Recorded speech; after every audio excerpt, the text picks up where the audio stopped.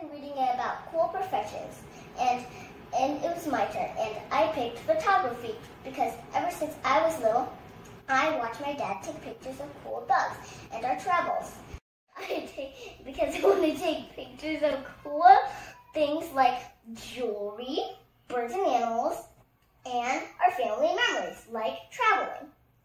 A master of photography by reading tons of other different photography books and taking tons of other pictures with my own camera. Years ago, an ancient scientist noticed that light passing through a pinhole showed the same image upside down in a dark room.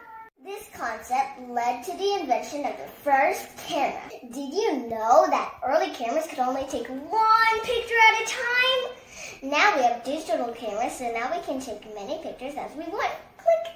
Really love drawing, and photography is another way to keep my memories safe and share them with my friends. Since I love watching cute animals, I think taking photos of them would be great too.